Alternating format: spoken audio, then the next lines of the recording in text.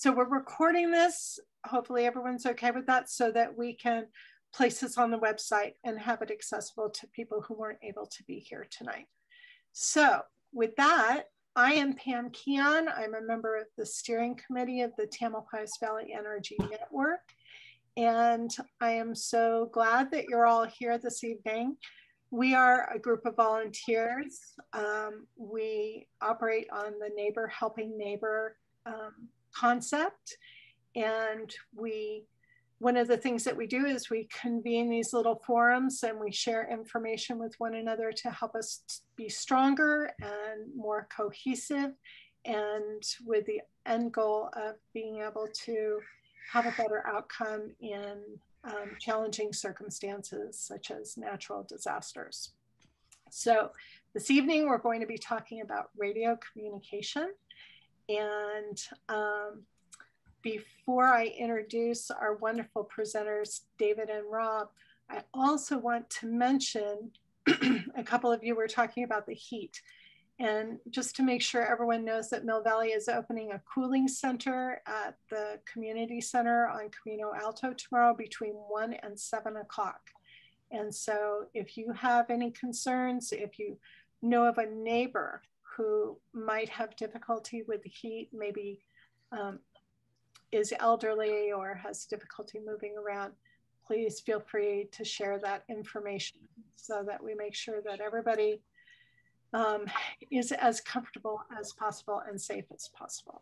So with that said, um, we're going to get into our topic for this evening. And we are really lucky because our presenters this evening are David Blaza and Rob Rollins, and they are both block captains. David is a um, block captain and also a member of the steering committee. He's a resident and block captain for the Pine Hill West, excuse me, NRG. Um, David is also a CERT, so put in a plug for CERTs um, now that the hybrid training is up and running. And David is a licensed radio operator. So welcome and thank you to David. And his partner in crime for this evening is Rob Rollins. And Rob is a retired electrical engineer. Um, he is in the Waterview Energy, where he is also a block captain. And um, you may guess this once he opens his mouth and starts speaking. Rob is originally from New Zealand. Um, the home of the America's Cup, in case you hadn't noticed. Rob has been a radio ham for almost 60 years, and he is active in the Marin County Sheriff RACES organization.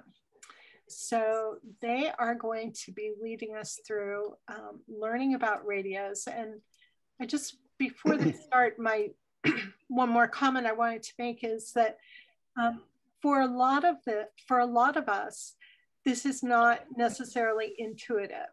And I'm so glad that everybody is here tonight because the more that we can um, familiarize ourselves with using these radios and the more that we can practice, the stronger we're going to be and the more likely we are to, in a time of distress when we really need them, not panic, not forget everything we know, but say, okay, I remember this.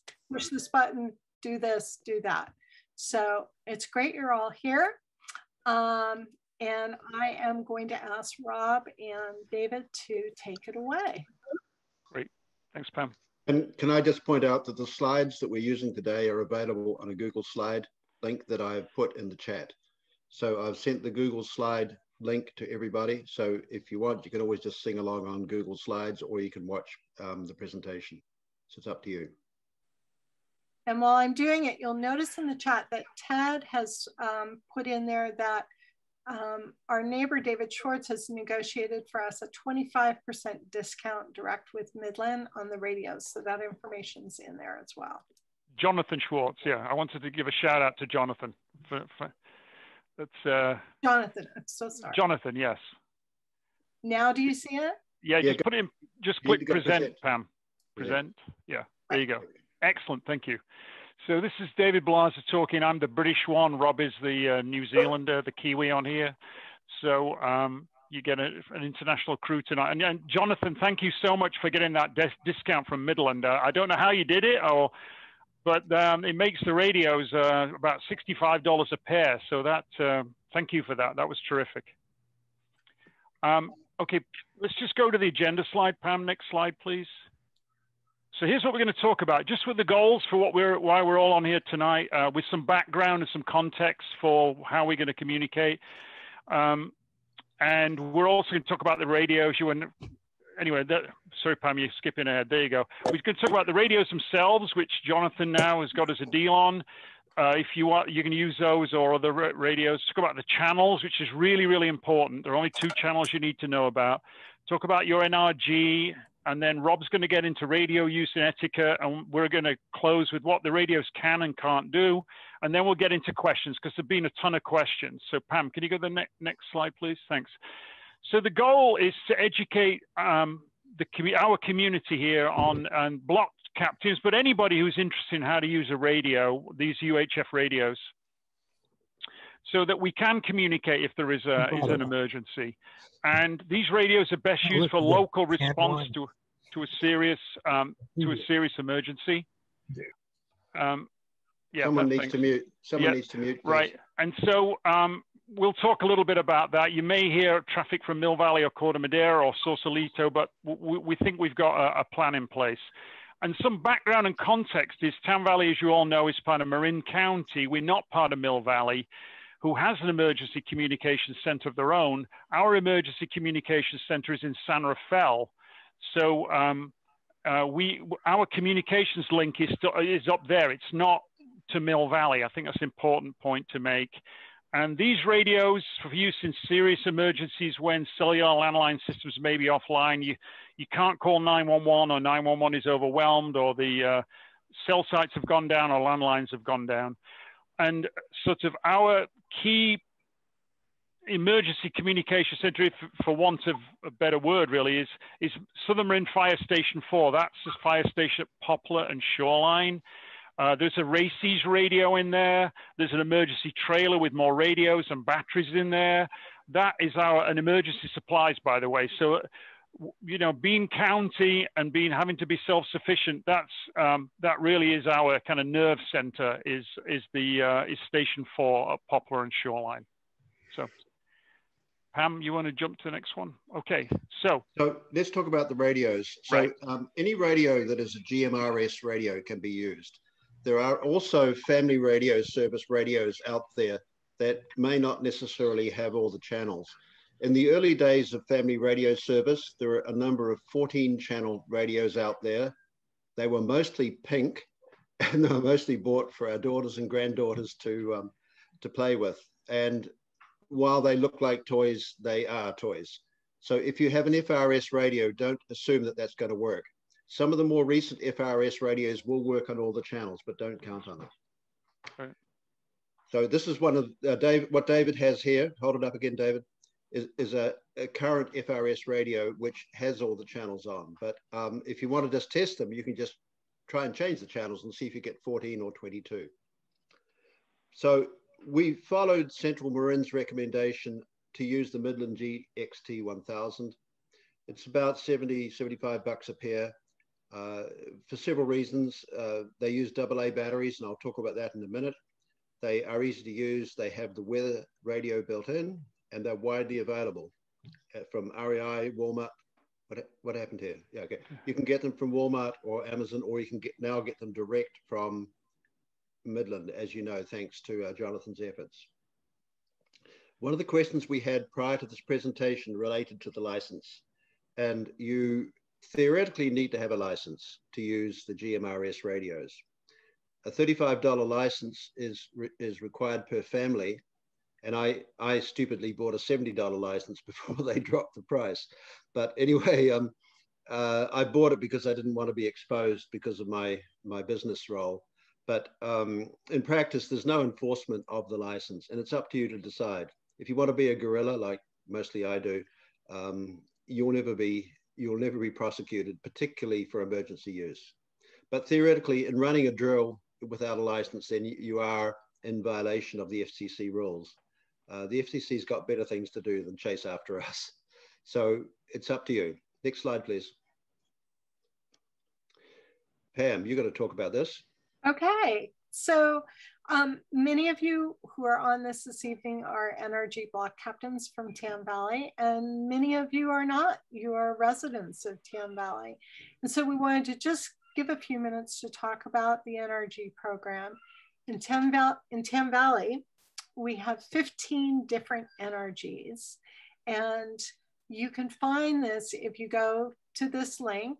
Um, it's also down here and learn all about the Tam Valley NRG system. And you can um, look at the map and on, on the website, it's uh, interactive. So you can zoom in and you can get right down and see the street that you live on and see the parcel that is yours.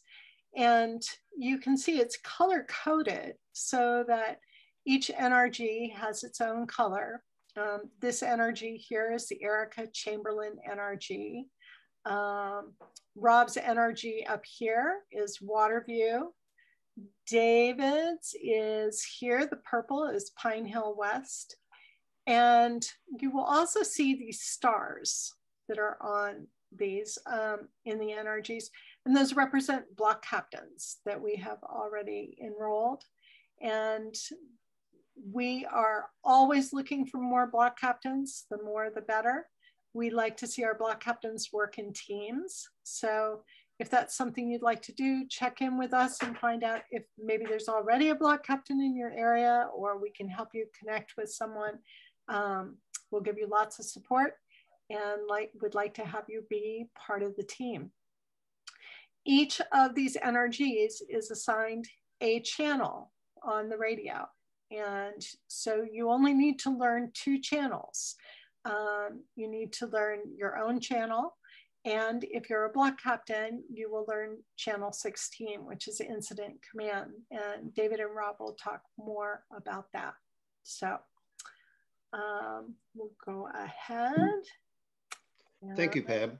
Rob. So one of the interesting things that comes out of experience with emergency radios is rechargeable batteries suck.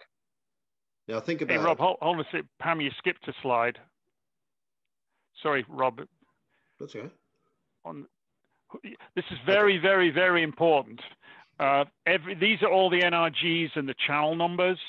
Um, since most of you have, ignore the GMRS only thing, but this is, this, so when Pam said you need to know two channels, this is the first channel you need to know, is you need to know in your NRG, that channel, that should be the first channel that you, you have in your radio so you can talk to your, within your NRG. The second is channel 16.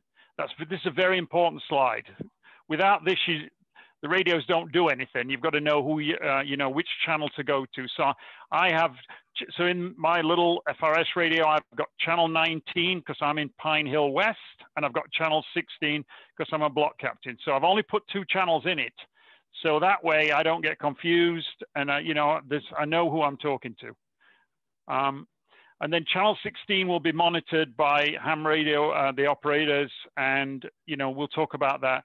And ham radio operator, Rob, you want to, let me skip to you now. You, you hand over since you're our um, resident expert on everything amateur radio.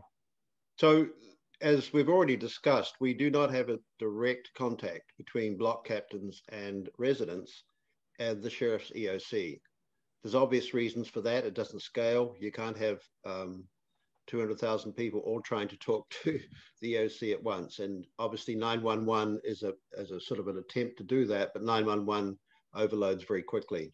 So there's various degrees of um, cutting um, sort of striation as we go up through the process. And a lot of the problems that occur can be solved within a block. For instance, can someone help me get my garage door opener open. Those kinds of things don't need to go to the EOC.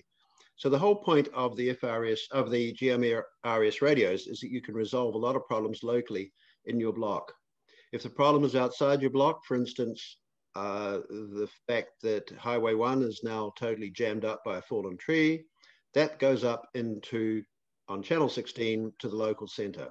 And the local emergency center here is uh, the fire station 4 at Poplar. And at that point, we will have ham radio operators like myself and various other people. I see Tim on here tonight. Um, David, if he hadn't bailed and moved to the far end of the county. and um, the whole point of the RACES system is to be the last resort for transmitting emergency information up to the EOC. Fire Station 4 has access to something called Web EOC.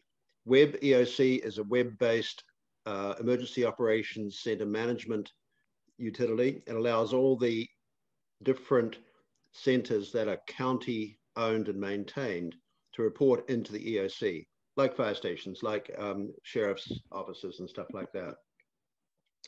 So our, our role as amateur radio operators is to act if that system goes down. And that can, that can go down um, quite easily, as we discovered during the PSPS back in October. Uh, also, the, there are CERT radios, although the CERT radios in Southern Marin are not really deployed. We found, how many did we find, Pam? A couple of dozen CERT radios um, with Southern Marin CERT on them, and, and nobody knows, first of all, who was supposed to use them, and nobody knows who can use them today. So we're not actually using CERT radios in Tam Valley. I'm, I'm still correct on that, am I, Pam? That's okay. correct. We don't we don't have a plan for that at this time. Um, there was a question about why um, Tennessee Valley is, is low power. Channel 14, you, all these radios you can choose to be high power or low power. And the reason why we said Tennessee Valley low power is because Tennessee Valley is quite closely um, integrated and you can get away with low power rather than high power. And you can change that in one of the multiple menus uh, under the main menu on, on the radio. But honestly, I don't think we need to go into that at this point. Just be aware that there's a way that you can reduce the power on your radio. Why would you do that? To minimize the amount of uh, interference you cause to other operators, other users in other parts of Southern Marin. Judith says that's what she wanted to know. Okay, next message. EOC, uh, Cynthia, Emergency Operations Center. The Emergency Operations Center is in the Sheriff's Office at Los Gamos in Terra Linda. You may have seen it, it's just off the west side of the freeway at Lucas. And um, the Sheriff's EOC is, is the hub, that's where 911 is, that's where all the communications will be um, triaged between the county and the state. So the EOC at uh, the sheriff's office is like other sheriff's offices in San Francisco and so on, uh, connected into the EOC in Sacramento. Does that address your question? Okay, next slide, Pam, I think. So back to batteries. Um, it's been shown in emergency services that rechargeable batteries suck. The reason for that is once you, you evacuate, you hop in your car and you drive off down the hill and you um, you get stuck in traffic on um, shoreline for four hours, your battery, your rechargeable battery runs out. How are you going to recharge your rechargeable battery in your radio when you're in your car? Unless you're like me, you won't have any way of doing that. And also the charger that comes with these radios is very unsuitable for portable operation. Most fire stations have a whole load of Energizer uh, AA batteries. David, how many have you got? Yeah, we, we in the emergency trailer we put about 150 AA batteries in the emergency trailer at uh, Station Four. So uh, uh, hopefully that'll keep us going for a few days if people need batteries. Now the the other issue about this, which Pam reminded me of tonight, is that if you put AA batteries in your radio and then plug it back into the charger, you may have a call to the fire brigade sooner than you might have otherwise expected and there was an, an instance of uh, a radio and its charger melting down somewhere in Tam Valley, I think it was, or was it somewhere else? It was in Tam Valley. in Tam Valley. So, yeah. so it, it's a little bit complicated. Take your batteries out. You should always take batteries out of anything that's battery powered anyway, because the batteries eventually leak and destroy it. So, so it, it's sort of suboptimal that you have to pull your radio apart and you can probably do it in the car as, as you're stuck on shoreline. You can pull out your emergency AA batteries and use them to replace the rechargeable battery that's normally in your radio. So that's just a little wrinkle in the whole process, but um, a lot of experience has proven that the, the AA batteries are key to keeping radios alive. Next slide, please. So there's only two things you ordinarily need to do to your radio. The first one is enter your channel, which in my case is channel 20, or listen to weather radio. So to enter your channel, you turn the volume knob clockwise, click, radio comes on, and hey ho, nothing much happens. If you want to change channels, you press, Pam, you can use your mouse. You press the menu button and it will start flashing. Then you use the up and down keys, those two keys there, to go up and down until you choose your channel. Now, at this point, this is really important. Don't hit the menu button again. If you hit the menu button again, you go into the weeds. And there's about five or six or even seven layers of menus in there that will get you horribly lost. And I don't want you to suddenly find your radio doesn't work when you go to use it. So it's really important to realize that when you put your channel in, do not hit the menu button again. Just wait for it to time out and the, the 20 or whatever number it is will just flash. Then to assume, to make sure you don't screw up again, um, hold the lock key down. You hold it down until the lock symbol appears on the screen. And then no matter what you do, whether your dog jumps on your radio or whatever, it will stay on that channel and it won't screw up. Now, the other thing is these radios also pick up the NOAA weather radio channels. Why do you care about the weather? Well, you may not. Uh, tomorrow you probably will. But uh, in general, the weather's not the first thing you care about. But the, the NOAA channels, there are 10 NOAA channels that are uh, provided all around the country to, and those country, those channels are reused as you move around the country. So like one we have here is on um, in Monterey. It broadcasts in Monterey and it transmits from somewhere in San Francisco. There's another one just north of here somewhere. You, you're always, uh, if you're in any kind of settled area, you'll be within reach of a weather radio channel. So to access the weather radio channel, you hold down the menu button. Pam, if you could do the, uh, the yep, hold that down. Uh, it, and I'm sorry I don't have the video there, but it will, it will start flashing. And then you can uh, decide what channel you want to listen to. It will usually choose the, the strongest channel it can find, and it will stay on the weather channel until such time as you press the push to talk button. And Jonathan's pointed out you need to unlock first. Thank you. That, that's item one. So if the radio has been locked previously, um, see, I got there at number one, but I just forgot to talk about it. Thank you, Jonathan.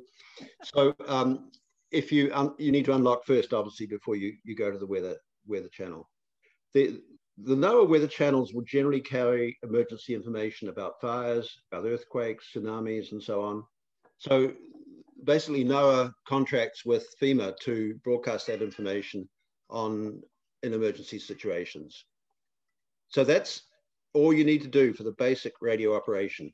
Now, changing to high power and low power is an option you may want to get into, but don't sweat it. That's not the point. At the moment, don't be scared of the radio. Just know how to do basic stuff. Next slide, please, Pam. Before you go on, Rob, can you just review where is the lock button again, please? The red arrow or the blue arrow on the back. So on the left, it's the blue arrow. On the right, it's the red arrow. Okay. You just hold it down and it will lock the keyboard. Okay, it's really important to realize only pers one person can talk at a time on a channel. And this is the most important thing you need to know. Don't just pick up the radio and start talking because someone else might be on there with some life threatening emergency that they're transacting with other people. And just be courteous. Don't press the button until you've listened. Also, if you listen long enough, you may find the issue you're about to present to the world at large is already under discussion by somebody else. For instance, there's a, there's a fire down on shoreline. A hundred people may have already reported that. So having you or me up here on Waterview saying there's a, there's a fire on shoreline is, is really worthless information. So listen first, make sure your issue isn't already being addressed by the people on the radio. To talk, you hold down the button on the side of the radio called the push to talk button. And it's not a toggle. You have to hold it down to talk. And when you release it, you release it when you're finished. There's no need to say over, although a lot of people do. Uh, the, these radios usually beep at the end of your transmission. So it's obvious that you've finished. It's really important to understand these are not cell phones. You can't talk and listen at the same time. That's excellent for talking to your in-laws. So your in-laws can't interrupt you when they're uh, saying something that they don't want to hear. So, although I don't recommend you use FRS radio, um, GMRS radios to talk to your family. Some people will say Roger to acknowledge something. For instance, um, David and I are going to have a little chat now, and um, David and I are going to talk on channel 16. David, have you seen the fire that's occurring down on Shoreline? This is 1209 Waterview. Yeah, Rob, affirm. I see the fire on Shoreline. Okay, the first thing I did wrong there was I used the name David. I should have identified myself, identified myself as 1209 Waterview. The fact that my name is Rob is irrelevant. The most important thing is that I'm on 1209 Waterview, so people who are listening can determine where the issue is. So uh, it's okay to use names, I guess, but try try and be helpful in your transmission so that other people can work out what area it is you're talking about. Great. Let's go back up again. Um, identify yourself by your street number. You may have an FCC call sign. If you if you go through the FCC process, pay your 35 bucks, you end up with an incomparable, incomprehensible call sign that I can't even remember my FCC call sign. And um, if you use it, you'll just confuse the hell out of everybody. The most relevant information is where you are, in my opinion. Now, other people have different views, and we, we work with the other NRGs across Marin County to see what their process is. Some people tend to use block names and so on, or block numbers. The problem is who can remember what their block number is three months after the training? So I, I favor using as complete geographic information as you can. The PTT doesn't mean push to, push to think. So know what it is you want to say first before you start talking. Try and get your thoughts in some kind of cogent form and um, let's do an example here. Uh, 445 Wellesley, I see there's a fire broken out on the top of the ridge over the, over, I can't, I'm not finding the right name, but anyway, th there's a fire broken out on the ridge opposite you. Are you seeing that? Go ahead. 435 Wellesley Avenue. Yes, I'm seeing the fire. Affirmative. So what did I do wrong then? I forgot to identify myself. so, so, so, we, we all screw up. Uh, keep communication short and be patient. Other users may be using the channel. Their, their use may be more important than the fact your cat has gone up the tree to escape the fire. And emergency communications are always going to be chaotic. So it helps to be calm and brief. The radio ham community in Marin County has put together a YouTube video starring certainly certain famous people, uh, put together by another famous person called Brian Cooley, who I think a lot of people have heard of.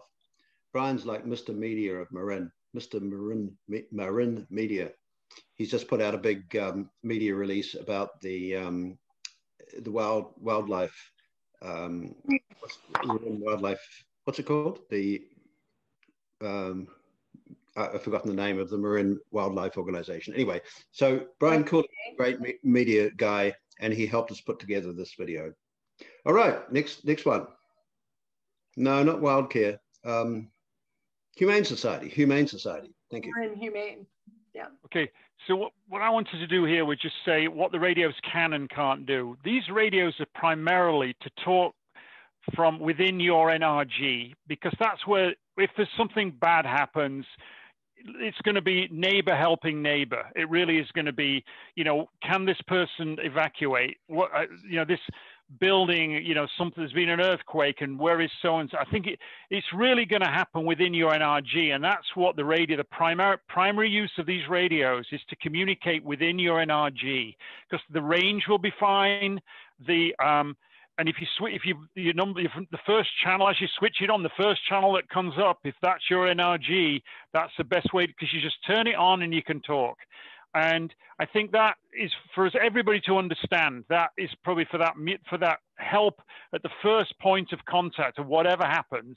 That's probably the most important thing that we can educate you on tonight. Is that's what these are really for.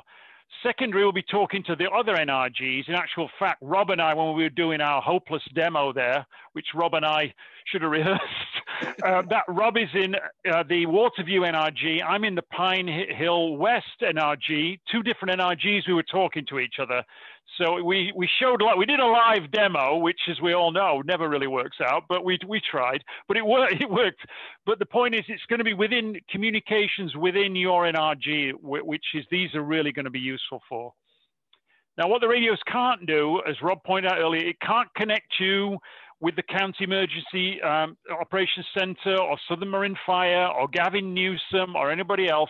It really, that's going to be handled by other people because of, as Rob pointed out, the, it just simply can't handle the traffic. And so, you know, Marin RACES, that's why I know there are a few uh, amateur radio operators here on the, on the call tonight.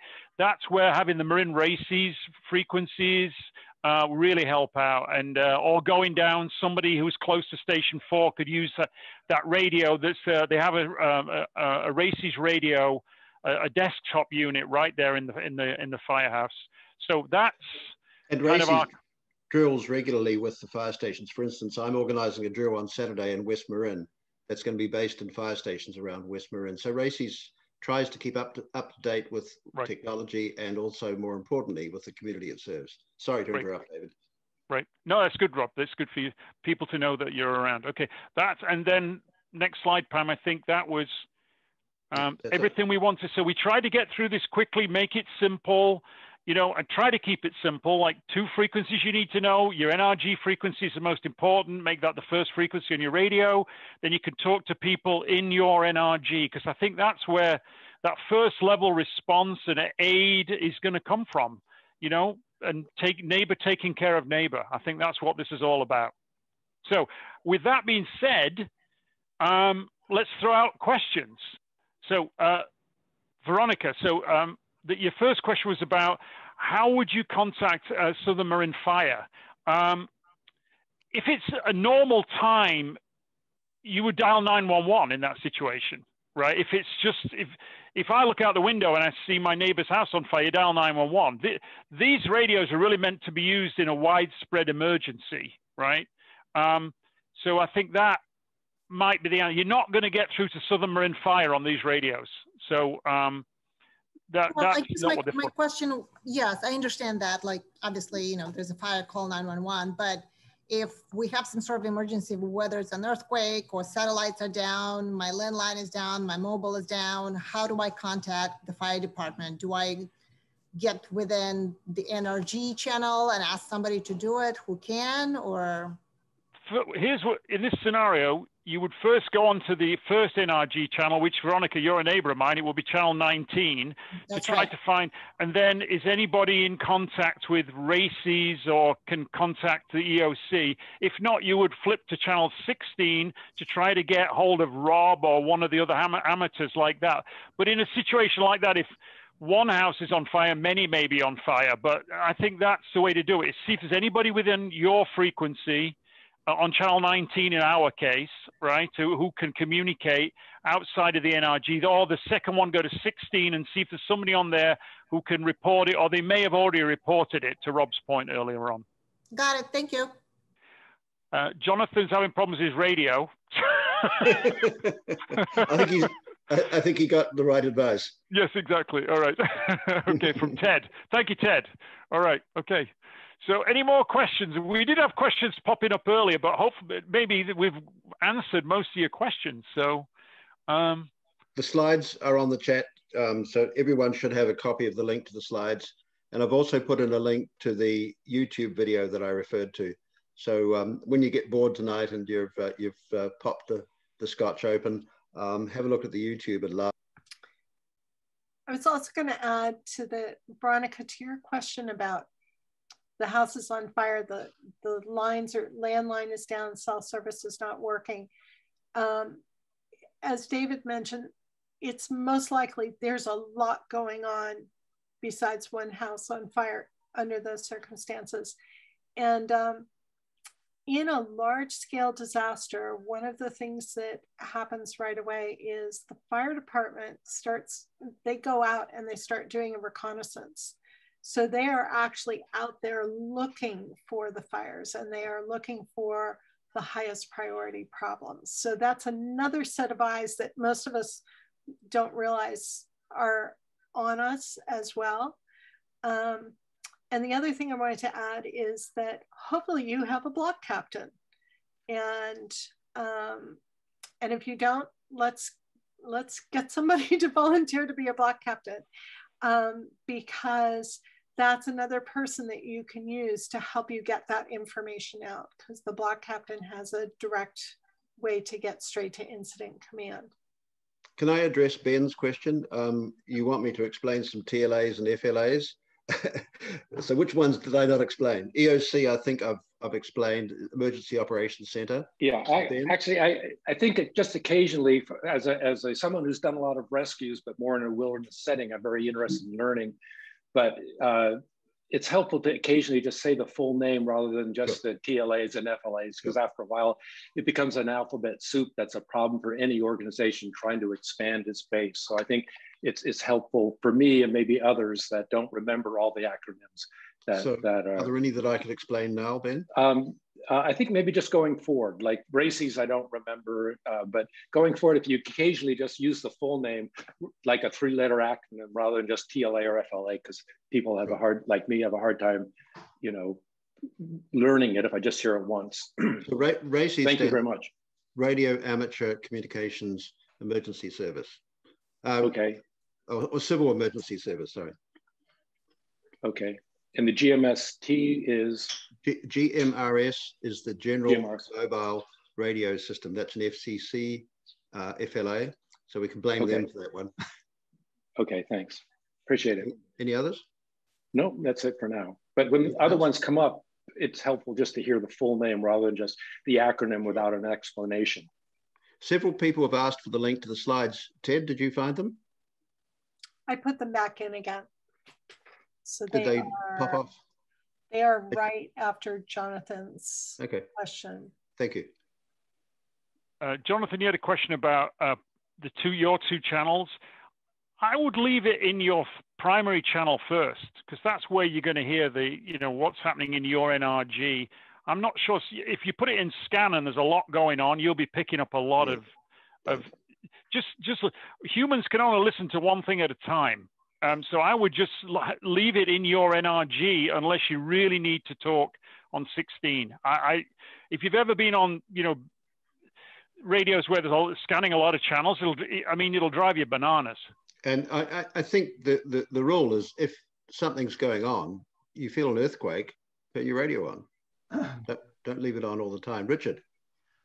The question concerning the uh, the CERT radios, which apparently are not activated for Tam Valley. So my understanding would be that this radio is totally independent of any CERT communications and is limited to our NRG operation here locally. Is that correct? Well, you, are half right. Um, there's no connection between these GMRS radios and the CERT radios. The CERT radios are specially licensed high band radios. Um, however, other people other than us use GMRS radios. And I used the example earlier of the NRG in Corte. And when we did a drill on the same day as Corte we realized why we could not use channel 15 because that was their command channel. So we got a lot of interference from them. So um, GMRS radios are used by a lot of different people. If you go into REI to buy your radio, you'll probably find the person who helps you has a radio on his or her hip that they use to talk to the front desk. So GMRS radios are being used all, in all sorts of places. And for that reason, you're going to get a, hear a lot of crap on the on the radios. That's why you don't want to leave them on all the time, right, David? Because right. you don't you don't want to hear some some guy say, "Bringing me bring me another bicycle from the back, please. We've got a customer here." So you really got to be careful that you don't get swamped by all the all the garbage that's out there and then you get the kids and then, then you get the abusers as well. And some of the channels have got some quite abusive material on so keep your little, littlies away from the radio. I wanted to bring up i don't think martha is oh there's martha. Martha is still on and she um, put something great in the chat. She made a recommendation and i wanted to follow up on it. Um, and martha i'm Okay, Martha said, suggest we all put printed instructions on how to use the radio with the radio. And, um, and which is a great recommendation. And we actually talked about, and y'all might want to do this yourselves, actually putting your instructions on an adhesive strip and putting the strip right on your radio. Um, so it's not even that you have the manual and it's in a Ziploc bag with your radio, but you've got it right on it. So if you leave the house, you don't have to carry the whole manual with you. You've got the instructions right on the back of your radio. And there's only two things you know how need to know how to do, as I've tried to explain. So you could just print that one slide. Mm-hmm. And uh, just by the way, uh, various people seem to be having trouble getting the links. We've put them up multiple times. I know. It's weird. G- G- Ganila, are you still having problems? No, I found one link. Okay. Yeah. So, so, so you, you're welcome to open up the link and print out any or, you know, any or all of this presentation today. Yeah, I will. And we will also post that on the um, Tam Valley Energy website in the next couple of days, so you can go there to get the slides as well. So we have a, um, Claudia asked who she contacts to get the Midland discount. And um, that information is. Can I, it's Jonathan, can I jump in? Yeah, Jonathan, sure, go right please. ahead. And, and Hi, again, I, thank you so much for. Well, wait, you before you, you go there, I, I I didn't test the code until just now. And it turns out when you go to the Midland site, eh, you do in fact get 25% off, but it's it's versus their retail price of 80 of $89 plus tax plus $22 for shipping, Oh. adding up to $95. So Go to you can go REI. to REI for 70 and uh, Amazon for for 69.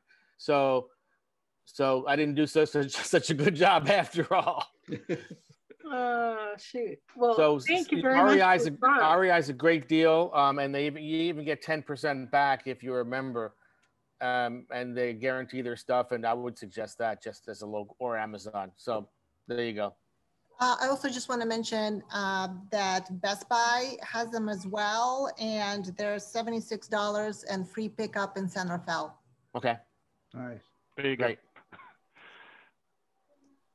We had a couple of questions we- bef- bef- before today about using other radios. CB radios are not compatible with GMRS. GMRS is a UHF uh, band um, around 450 megahertz, just above the ham band. And um, CB radios are at 27 megahertz. So it's, uh, it's chalk and cheese and there's no compatibility between the, the two systems.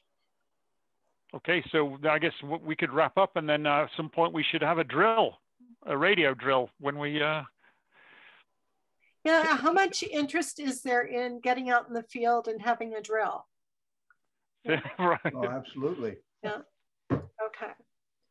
So we'd like to try and do that um, in the near future.